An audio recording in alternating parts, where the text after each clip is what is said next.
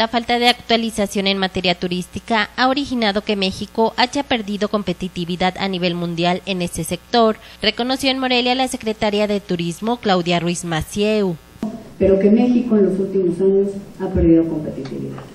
México en los últimos años no, se ha, no ha logrado eh, capitalizar una tendencia mundial de crecimiento del turismo, en donde el año 2012 la comunidad turística internacional celebró que en el mundo se, se superó el número de mil millones de turistas internacionales Dijo que para hacer frente a este retroceso, la Secretaría de Turismo destina más del 60% de su gasto anual a generar proyectos y crear infraestructura que pongan a México a la vanguardia en ese sector.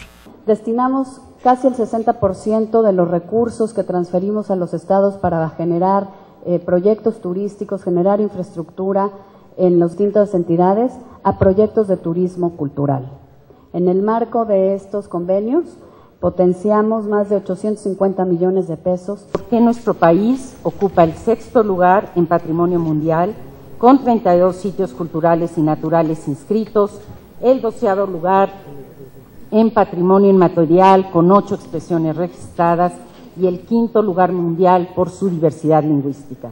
Ruiz Macieu inauguró en Morelia la cuarta edición de la Feria Mundial de Turismo, en la que más de 70 expositores y artesanos exhiben las riquezas del país y encabezó el Congreso de Investigación Turística aplicada 2013.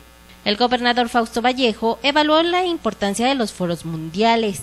En esta cuarta edición se registraron 200 compradores nacionales y 31 internacionales la feria cuenta con 39 stands en el área comercial y con una exposición artesanal en la que participan 70 expositores, donde se podrá apreciar y adquirir una variedad de piezas representativas de todas las naciones que participan.